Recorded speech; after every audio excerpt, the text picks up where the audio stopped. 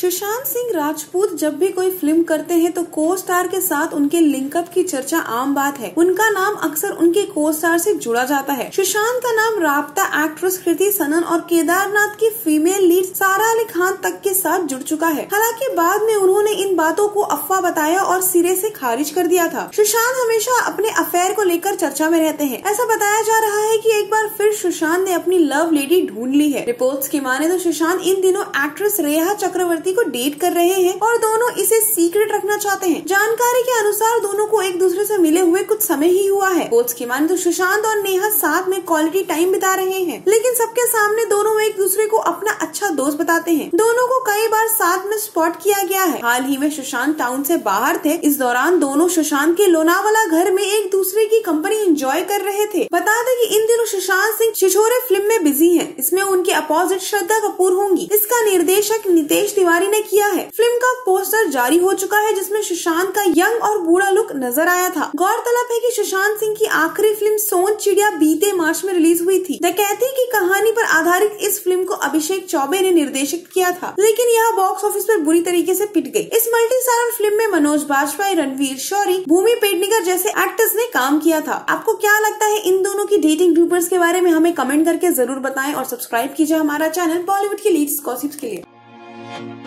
For latest updates, subscribe our channel and press the bell icon.